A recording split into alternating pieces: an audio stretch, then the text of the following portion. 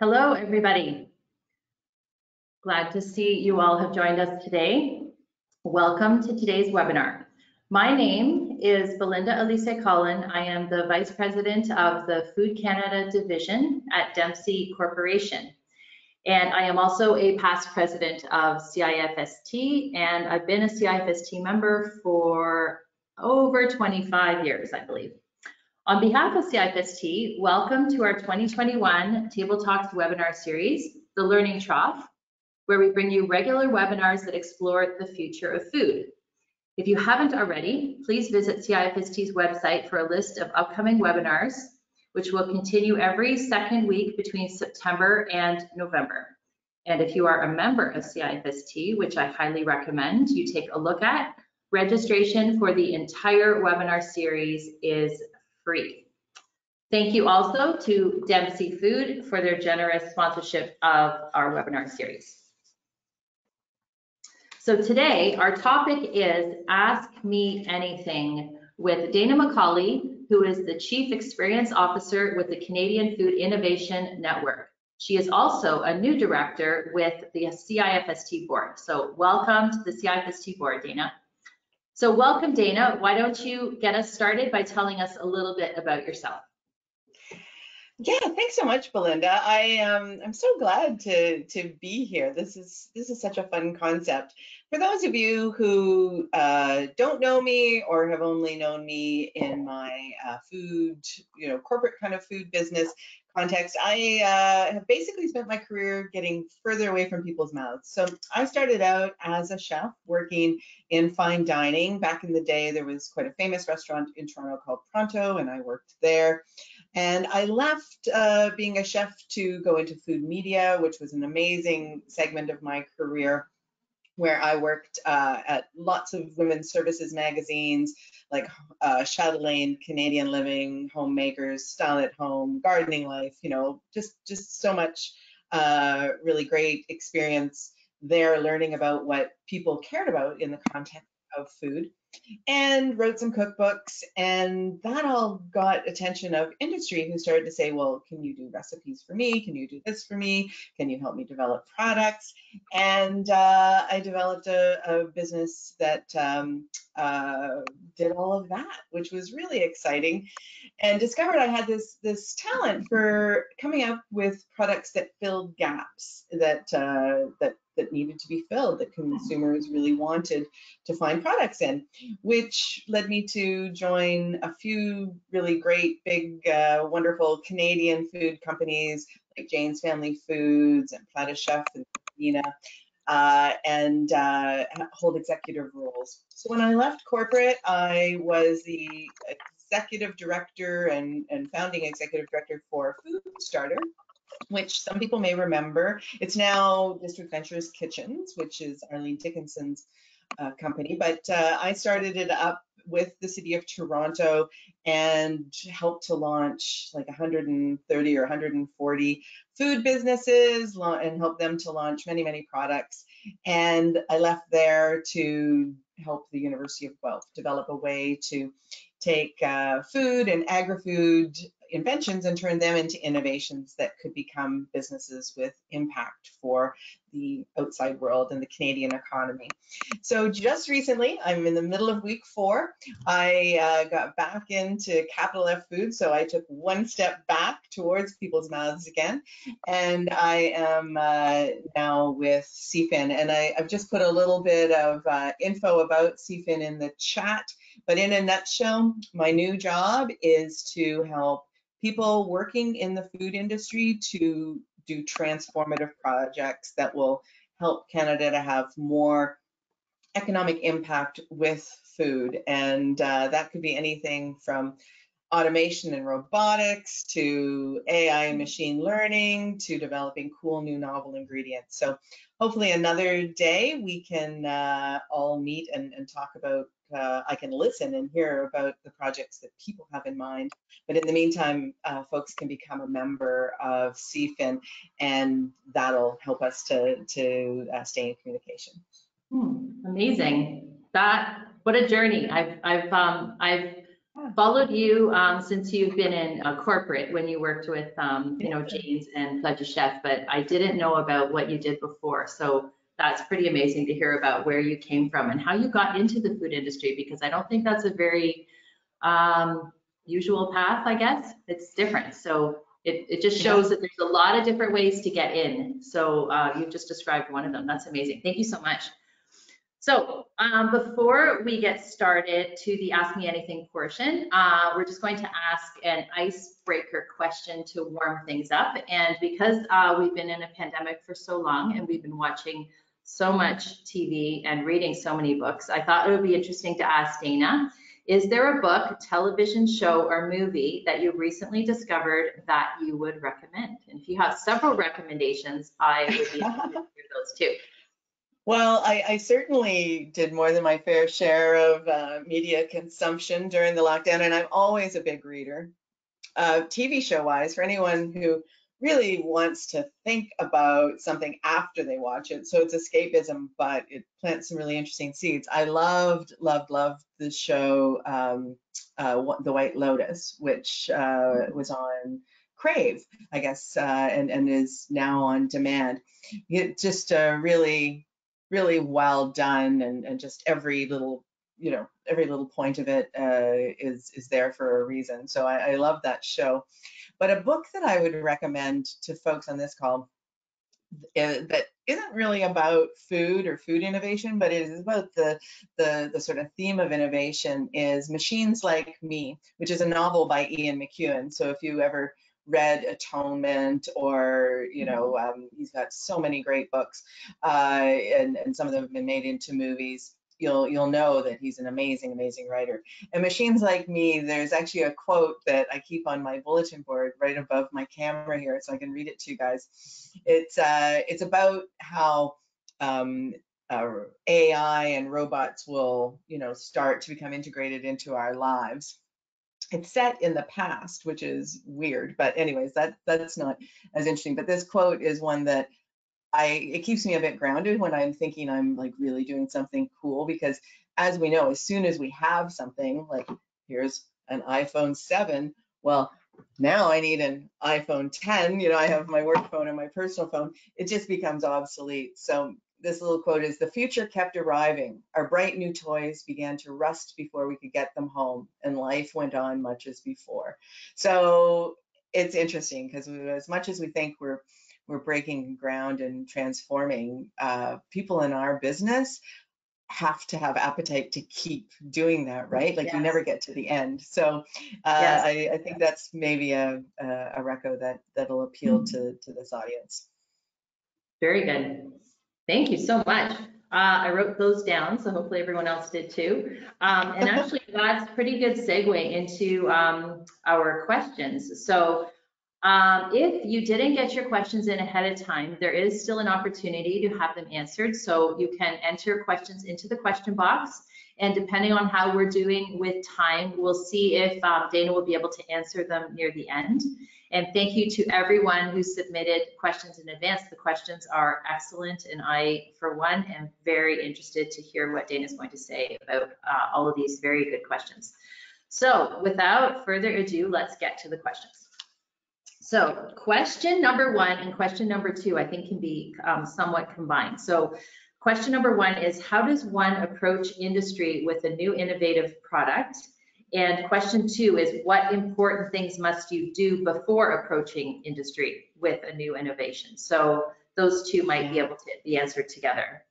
Fantastic, fantastic question. And it's so interesting because um, my new uh, uh, colleague at CFIN, Joe Lake, who some of you might know, he's a food scientist and, and worked with McCain for 12 years as their global director of innovation. He and I were having a conversation about this the other day so often people uh, that I've worked with and people who've asked me for advice uh, and people I've just kind of observed, they think that they should go into industry with a huge idea.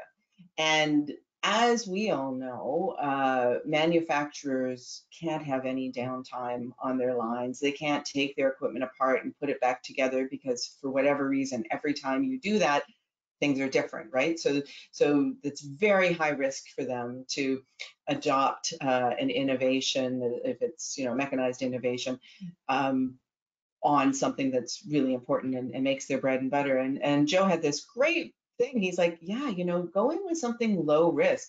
Like say, hey, if you're a robotics company, let me uh, put sensors and robots into your QA and we'll do a pilot and we'll see how that goes. Because you can't really expect people to join you at the end of the journey. Like they have to be they one yes. have to be socialized to it and even if you have a champion internally in a company chances are they only have one voice around the table. So the, you know, the second part of that question is understand who you should be selling to. Um, who's going to sign the PO? So if it is the CFO who's actually going to make that decision because you're showing that that whatever you're bringing in, whether it's an ingredient or as I say, something, a piece of equipment or something, you obviously want to prove the financial case for that. So if it's a financial person that's going to make the decision and champion that to the board and the CEO, then make sure you're you have a contact there. It just because something's to do with R&D doesn't mean the director of R&D can make that decision.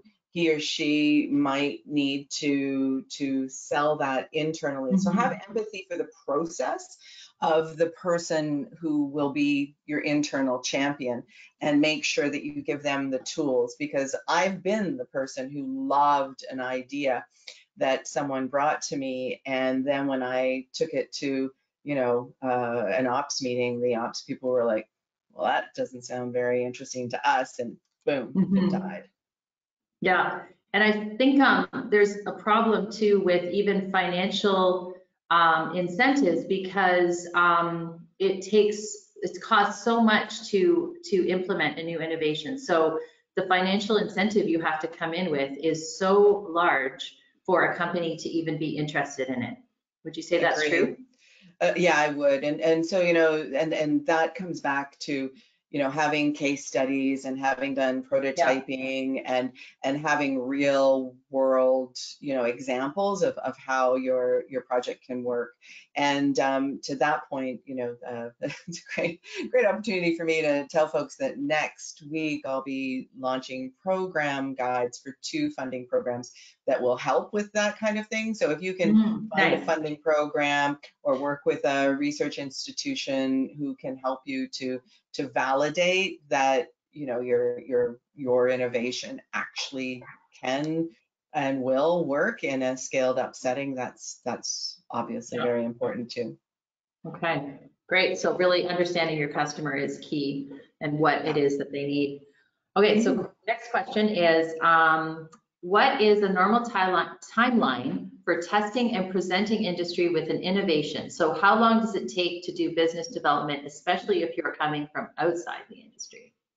Well, that question, of course, could be answered with any amount of time because so much of it has to the, the, runway has to do with what it is you're you're developing so um, i think you need to understand uh, i think the where this question is coming from is how long will it take me to get a sale and i would say that that is um, directly proportional to when people do budgets and that kind of thing. So understanding when companies have year ends, and if they're public companies, that's really easy to find out, right? Because their shareholders will have an mm-hmm. annual report probably posted on a website. So find out when a company's year end is and go in with the right type of expectations most organizations I've worked in, it's been like three or four months before the year end that we do the really granular budget and and decide what we're we're going to be investing in for the um, for the next year. So if someone's year end is uh, is March,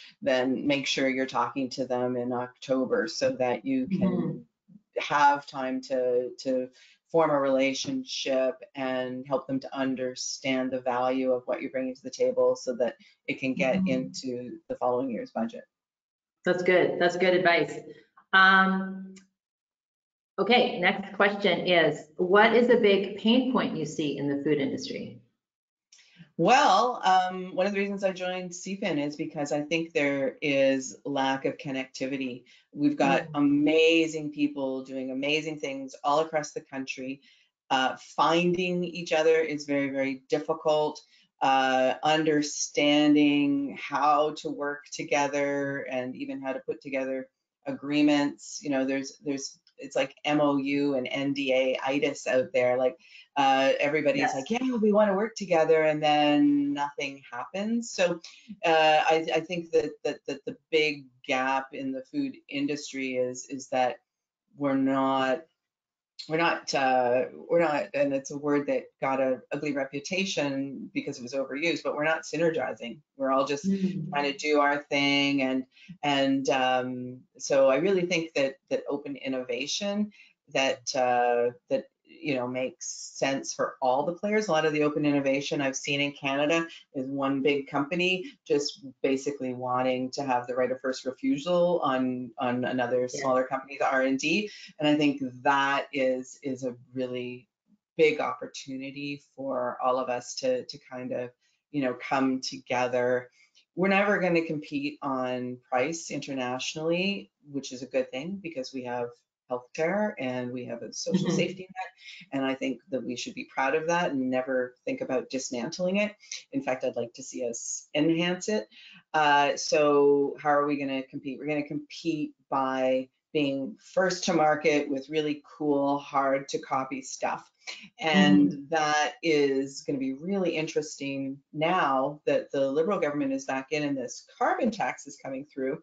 All of a sudden, shipping a baby carrot from the Holland Marsh to California to be tumbled and packaged to come back to be sold in Canada, that's going to be four times as expensive with this carbon tax. So that's going to hopefully help us to develop more infrastructure for further processing.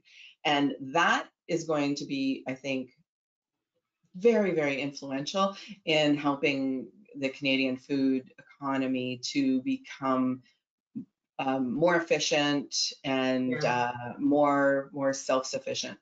Mhm. Yes, more, more stuff going on here, and less stuff that we're shipping from overseas would be really good to see. Yeah, amazing.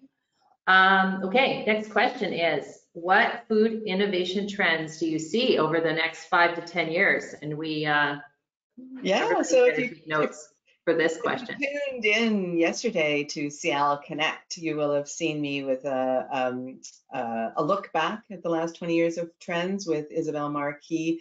Uh, and, and we identified that uh, convenience and sustainability and, uh, and um, health and wellness will continue to be, you know, really big macro trends Mhm. that will, you know, kind of iterate and, um, and certainly, you know, uh, be expressed in new and interesting ways. And then I hosted a panel where we dug into that even further with a panel from across the country with, with different sets of expertise. And uh, so there was a lot more granular stuff there. Some of the highlights were about how you can't just work on a trend now in isolation. You can't just say this. The urgency of climate uh, crisis uh, uh, is is now to the point where where Canadian consumers and consumers around the world, it's like there has to be some sustainability benefit in Yeah. the product, and and it doesn't matter, um, you know, kind of what you're doing. You you can't do anything without thinking about all those those other Mm. pieces. Which means it's become a, a little bit more complex to identify the unique selling point of a product, but Yeah, it also it also means that um, yeah, hopefully uh, hopefully that'll encourage more of that collaboration that I'm craving. how, just a personal question related to that is how um, do you feel about upcycled products that are starting to come into the market? I love it personally. I, I'm uh, as a consumer, I respond very very well to that whole idea of upcycling. I've even started going to um, a shop that had called Rare Threads. It's a clothing store in in Caledon, uh, not far from where I live. It's at the Alton Mill Art Center, and they have all these upcycled clothes, and they're Wow. gorgeous. Yeah, and so I've bought a couple of things there. I, I've um, I don't know. It's interesting because I think about my I, my grandmothers who both raised big families on farms, you know, through and and directly after the depression, and I'm like, yeah, you know what? That's right. They they reused every plastic bag, and Yeah. and why why not package your your products in mason jars and let people reuse them for their own Yeah. canning or as storage? And some people are Yeah. even using using mason jars as drinking glasses. So I think there's a yeah. lot to lot to learn from that that uh, Yeah. that, that tradition. Yeah, yeah, I hope to see more of those ingredients coming, coming through for sure. And I like how you, uh, yeah, you tied that into other things too, like, uh, like clothing. Um, yeah, we Well, because definitely. the, the the upcycle opportunity might not be in the food stream, right? So you Mhm. may have some fibers or something left over after you make a product and they might taste terrible, but that's Mhm. okay. They could still potentially be Mm, something other than just compost, right? So Yeah.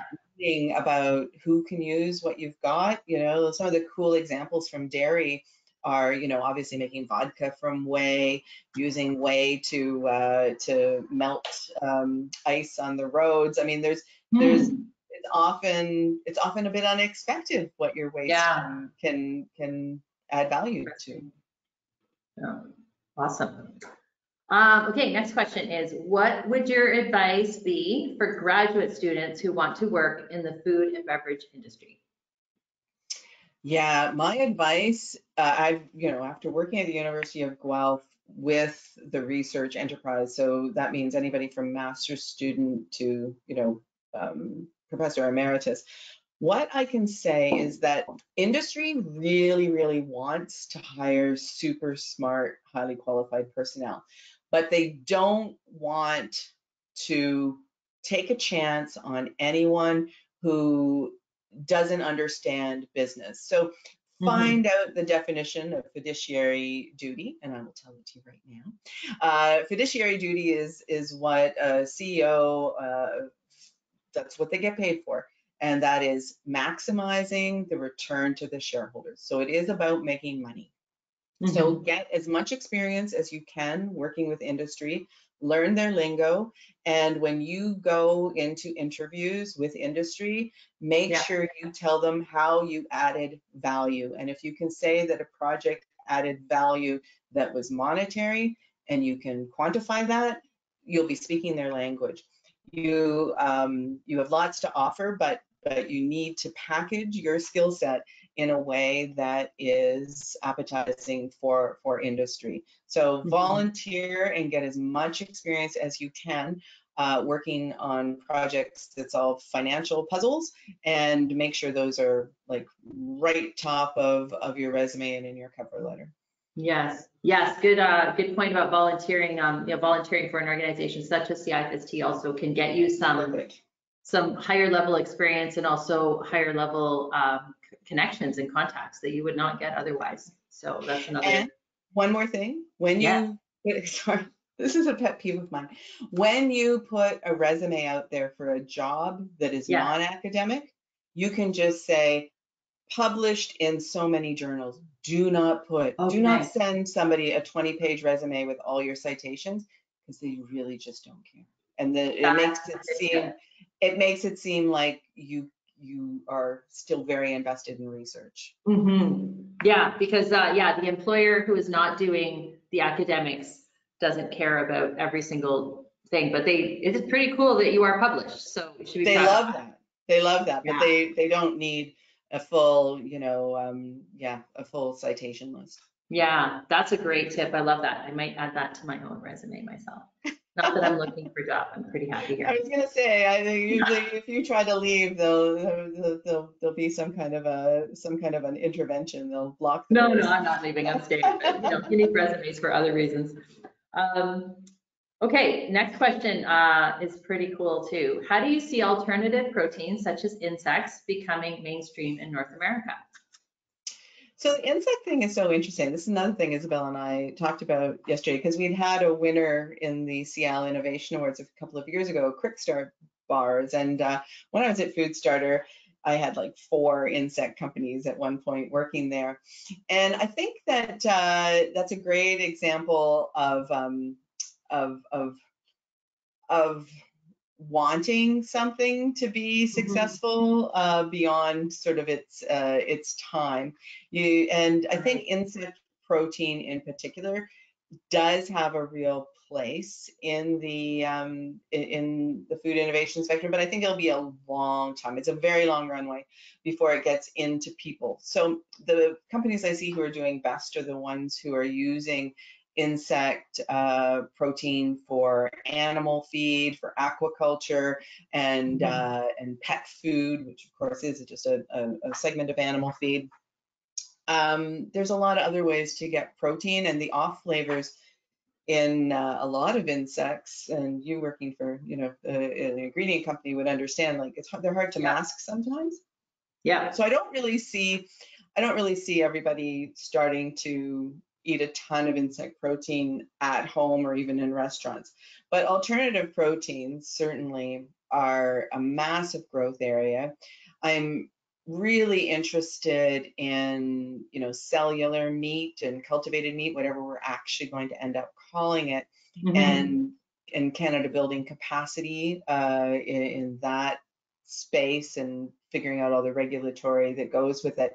But the fact of the matter is, is until we get all the regulatory stuff in place, none of these very novel uh, items can really go too far, and because they'll they'll be restricted and, and consumers won't won't have the trust. So I think that's why you see that's why you see you know the the more traditional um, vegetable and plant-based proteins continuing to grow while the other ones Yeah. kind of you know they they they, they there's a they, people have to learn learn to trust them and and and find them appetizing Yeah, I like hearing your explanation there because I, I, I, I was surprised that insects didn't take off and it, you're right, it was a case of people wanting it more than the industry actually, or the consumers were ready Yeah. for it. So that's interesting.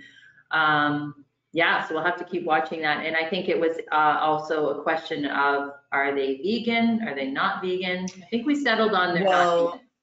No, exactly. Well, obviously not. They were moving around for God's sakes, They- you know. But um, but that comes into really understanding why people are vegetarian, vegan, and and segmenting that group down. Because will cellular meat be considered vegan? I say no because it's made from animal cells. But if you're a vegan because of compassion Mm, compassionate reasons you don't want to hurt animals and you don't want them to go you know to go through a um, a, a life that is that is you know basically uh, um, you know being contained and not out in the wild and you're against Yeah. you know the cruelty of of sending them to an abattoir then cellular meat might be for you and so it's it, it, it's all it's it's there's a lot of big questions to figure Yeah. out Yeah, interesting. Yeah. Okay, good. Uh, next question is, what do you think are the best solutions for tackling food waste? Well, I wish I knew all the answers to that that question. But interestingly, Cher Mereweather, a friend of mine, a professional Mm-hmm. friend of mine, who is the CEO of Provision Coalition, she Mm-hmm. and I were having a chat recently, and she said something that really stuck with me. And she said that one of the problems with focusing just on food waste is that you don't think about the whole package of of drivers there. So she said, you know, if you if you make smaller portions of things that are in packages versus selling like a whole bunch of something or or a Mhm. case of something, well then you have more packaging and then you're putting more plastic into landfills and then you're this this this and this. So um, her point was that any problem you're tackling, you need to look at systemically. And I thought that was very, very smart. And I would defer future questions on this topic to Cher.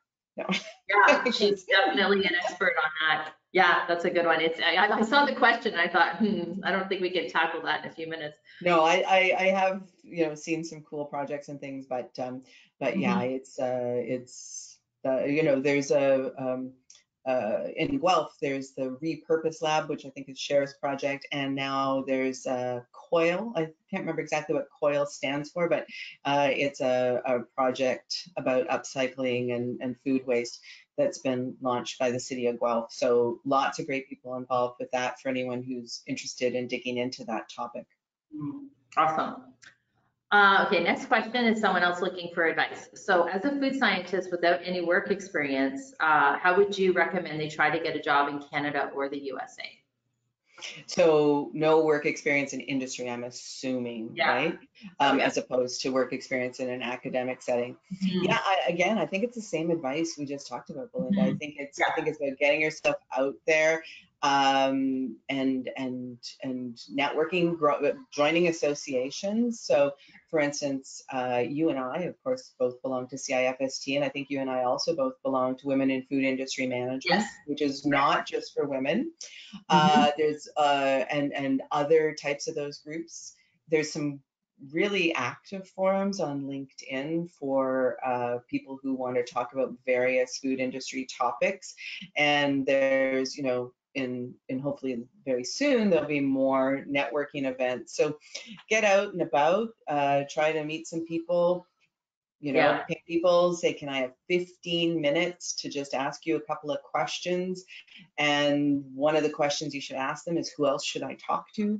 And and just you know start start getting yourself into into the milieu and uh, and demonstrating that you're that you're you're there and and that you're keen. Do you, do you what you you've you probably have some other good tips. I'm, I'm happy Yeah, to let you chime in Yeah, too. networking, yeah, networking volunteering to me are the two, um, the two, yeah, you need to get out there and, I mean, just, just, uh, I imagined, um, what you just talked about, you know, talking to people for 15 minutes and, uh, asking them who else you should talk to, that, that right there will get them right in. Yeah. Right?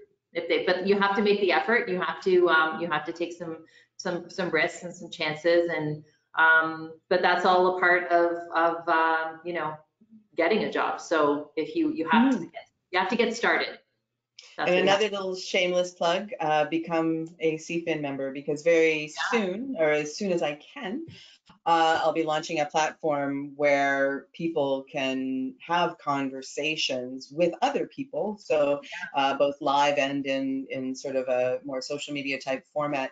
And that'll be another, I hope, another really valuable way for people to, to network in, in the Yeah. food innovation space. Yeah, that would be great. I'll have to look into that one. Please do. Okay, I love this next question. What is the craziest food trend to come along in the past 15 years that you encountered? Well, you know, that's an interesting question. And, and so for me, just to answer the question, I'll just very quickly tell you how I define trend. So if you think of a big tree in your yard, in the park, um, there's a big solid trunk that for me would be the food space.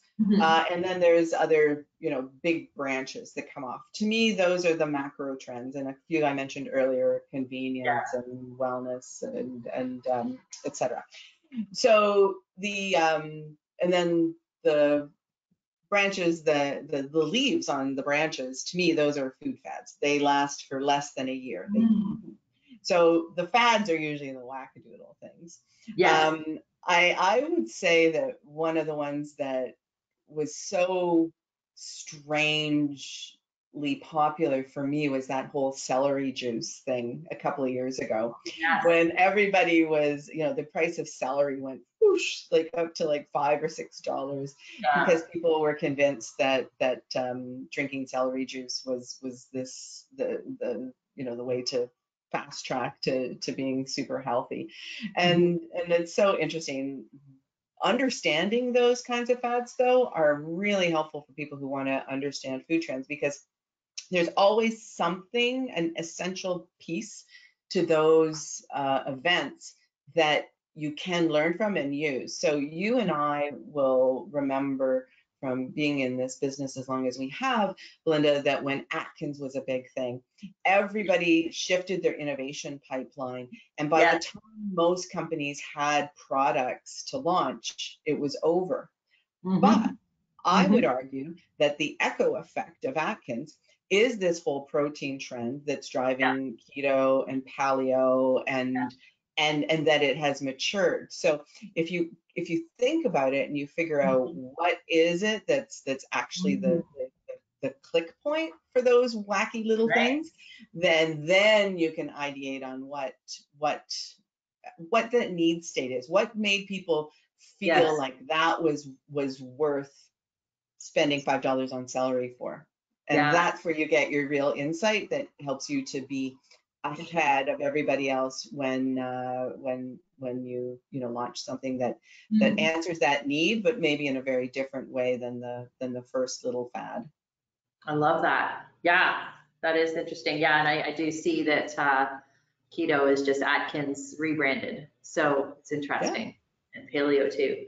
Yeah, interesting. I don't get paleo though. Like think about it. No, How old how old did cavemen live? I bet they were lucky to be like 30. So Yeah. why do we want to be like cavemen? yeah, it doesn't make any sense. No. Yeah, no, I, I've had a lot of conversations about that one. So keto, there's some, there is some science behind that one, so I can understand it, but paleo, no. Yeah, so good thing that that one's kind of uh, morphed more into keto now, so. Yeah. Um, so are there any new ideas that have yet to be developed? I think there Oh, probably. I'm sure. I'm sure there are. Wouldn't it be sad if there weren't? Like, what fun would this Yeah. business be if there weren't? You know, I, that's the thing, right? For people in in the innovation space, is that you always have to be. You've got to be a donkey. So, you know, you've got to have that carrot that you've got your eye on. And you never know what direction and what path you're going to take to get to the carrot. And once you get to the carrot, there's a new one over here. Mm-hmm. And that's what I love about this business. Like, Yes. it would be boring if we got to the end. Yeah, no, I will, We'll never be at the end. And I think uh, that's what, that's the great thing about the food industry is there's always new people coming in with new ideas and it's not just the same old, same old all the time. So it is very, very dynamic. So it's an amazing industry. Yeah. Um, getting back to keto. So um, what are trends around the keto lifestyle and what's the growth potential of this market? So I think probably like growth, what do you think the growth potential is still for keto? Yeah, you know, that's an interesting question. And I think keto has changed as the um, alternative protein space has changed. You know, at the beginning, it was all like bulletproof coffee, gobs of butter. Now I see, um, I follow, she was one of my food starter clients, uh, Naya Sharnalia, who owns Switch Grocery, which is a, you know, a keto online uh, grocery provider and and um, and she provides a lot of thought leadership too. And uh, when I look at you know her her posts, they're they're they're they're all about exploring keto these days from um, from from different entry points, I guess. So I, I when keto first started, I I think it appealed mostly to people who did eat a lot of meat, and I think it was really hard for vegetarians uh, to to to find their place in keto. So I would say that's what's interesting and, and developing is how uh, how how products that that accommodate more lifestyles and eating styles have have been brought into that pantry because it was a pretty small shelf you know of foods at the beginning and i certainly see that it that it's expanded and there's a lot of companies working against uh, eliminating sugar generally or Yeah. reducing sugar which may Yeah. not make them 100% keto but it makes them much more in that that neighborhood. And um, i find that's interesting. There's one of my u of g companies that i was working with uh, uh, until i left is called treatly and they're doing amazing low sugar no sugar baking mixes which are really really good. So that's uh, that that's that's where i think i see the innovation is in is in Yeah. giving keto keto diet followers the the foods they need to continue with keto because otherwise it's not very sustainable like you Right. eventually you're going to want a piece of cake right Mhm, mhm, That's right. Yeah. Yeah. So maybe helping with some other things like people who are diabetic or just the diabetic opportunity is very Yeah. valuable um, not just you know from a healthcare uh, expense you know societal lens but but obviously people living with with diabetes um, yeah it's Yeah. it, there's so much innovation in the care uh, side of diabetes, but yeah, definitely bringing people, you know, so that they can share foods with others. Having, you know, without getting too personal, my my brother was a juvenile diabetic, so I grew up in a household where he was always excluded. It was like, here's Yes. Vincent's muffin, here's everybody else's yummy muffins, Yeah. and so so that that that Mhm. is wonderful to see that that the interesting keto has put more resources into Yeah. solving some of the problems that diabetics have dealt with for a long time in a more satisfactory way. Yeah, it is good. It is a good thing. Um, so let's look at a couple of the uh, submitted questions from the audience. So you did talk a little bit about um, uh, vitro meat. And given the current hesitation of the market, what do you think companies can do to increase consumers' acceptance to this product? And that's uh, submitted by Trang Nguyen. Yeah, great question, Tran, and one I actually was asking myself of, of some uh, people that, that I trust recently. Um, Ontario Genomics, who does a lot of great work in all kinds of research and policy and stuff, they're coming out with a report in November about this whole topic, and I'm really hoping that there'll be some research on it.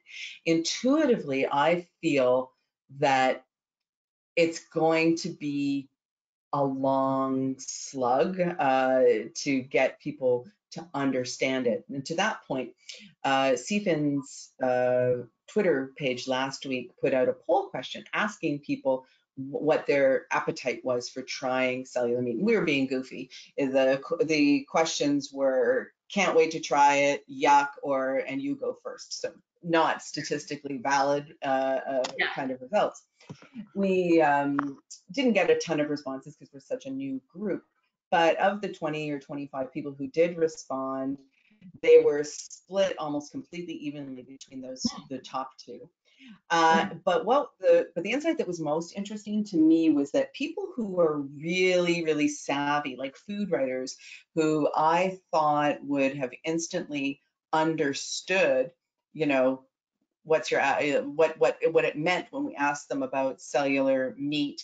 And we even put in you know meat grown from cells. Uh, they were confused and and some of them answered it like oh that's so heavily processed. I don't think those are good products and this and that. And i was like well i jumped in and, and from my own handle and responded well do you mean you know plant-based products that you know contain novel ingredients such as and, and you guys can fill in the blanks there. Yeah. and that is what they thought we were talking about. So that Oh, shows you the level of of of the the how few people are socialized to this topic even. So Yeah. i think it's going to require a long uh, and deep and i think the way uh, impossible burger worked. Do you know that in just the us alone impossible burger in one year spent $270000 on lobbying to get regulatory uh, yeah to get regulatory acceptance for their their soy-based heme? So that's what it takes. And and that Yeah. number of years it's like about five years for for a company like impossible to come to market. And then they still Mhm. have to demonstrate that uh, you know like they have to walk the talk i guess finally when they get into market so i would say that we can learn from from that path so Yeah. did i answer that question i hope so Yeah, you did. I think you said there's, there's, I I don't even think the product is really understood. So until it's understood, no one will be accepting it. So it's the education piece that has to come first. Yeah, interesting. I think we can get, squeeze in one more question. Uh, So from Emily Tang, what are some emerging trends in fresh food packaging that you have seen that are sustainable? Like for example, in fresh Mm. pasta or deli meats? Yeah, it, that's a very good question. And I feel like with the pandemic and not being able to go to trade shows that that I'm Mhm. probably not as up to date on on some of those things. Um, the ones that I'm really personally inspired by are, are the ones that that um, you know back to that sort of upcycling and, and reusing side. Uh, like I I want, and I know that COVID doesn't allow it right now, but just before the pandemic, there were a lot of places that were allowing you to bring your own container to have all Mhm. your deli meats or takeout stuff put into. And and I really would love to continue seeing that. Like when I go to buy um, to pick up sushi, I would love to be able to get there and give them my own platter and have them put it on and take the platter home. So to me, that, and obviously that works in retail. That's not going to work in, in manufactured mass um, Yeah. marketed goods. But I do like the, uh, the, that idea. And I do think that we have to have better understanding of our own municipal systems and capacities before, uh, and, and that's so hard for manufacturers because they want to make something that's going to work across the country or across North America. But uh, we all need to understand what isn't in our, our local infrastructure and, and ask our mayors and our councilors to, to fix that. Like if we, if they don't actually have a biodigester that can handle some of these uh, these bioplastics that are Yeah. biodegradable, then you know what? Why aren't why aren't we investing in it? Because uh, Yeah. um, it, it's a it's a chicken and egg, isn't it? Right? Like the, Yeah, the it doesn't yeah it doesn't really matter how great the solution is if if if its promise can't be realized. Yeah, that's very interesting. I hadn't even considered that part, so that's very interesting. It's got to be, it has to be a whole system uh, approach. Yeah. Well, we have come to the end of our time, so, um, so I know, you did. So, um, Dana, on behalf of CIFST, we'd like to thank you for this very informative session. Uh, I'm pretty sure everybody who tuned in is, is fairly glad that they did and they learned a lot. I hope so. Um, So I think you've put in the, um, the chat box, uh, your email address, if anybody wants to locate you. Anytime. I, I might not be able to respond super quickly because I'm really just staffing up right now, but um, I, I, yeah, would love to connect. Great, thank you so much. Um, so thank you very, very much, Dana. And this takes us to the end of our webinar. Uh, so just a reminder that we are hosting these webinars every second Wednesday from September to November, and they are free for all CIFST members. So please uh, tell your, your work colleagues. Please save the date for our next webinar, which is Wednesday, October 6th, and the topic will be announced soon. So thank you, everyone, for attending today's Ask Me Anything event, and I hope that you all enjoy the rest of your day. Thank Bye, you. everybody. Bye-bye.